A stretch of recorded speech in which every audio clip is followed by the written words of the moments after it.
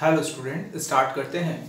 Experimental verification of chromosomal theory chromosomal theory जो थी given by Sutton and Boveri उसका experimental verification किया Thomas Hunt Morgan ने. इसने एक्सपेरिमेंट किया फ्रूट फ्लाई पे फ्रूट फ्लाई को हम बोलते हैं ड्रोसोफिला मेलानोगास्टर बहुत से क्वेश्चन आता है why Morgan select fruit fly उसने फ्रूट फ्लाई क्यों ली? Because it is a model organism easily grow in simple medium in lab आप इजीली लैब के अंदर फ्रूट फ्लाई को ग्रो करवा सकते हैं। शॉर्ट लाइफ साइकिल इसका लाइफ साइकिल टू वीक होता है। अच्छे स्टडी कर सकते हैं। Large number of progeny single mating produce large number of progeny बहुत सारे ऑफस्प्रिंग प्रोड्यूस होते हैं। Clear differentiation between male and female female size का लार्ज होता है मेल का कम होता है।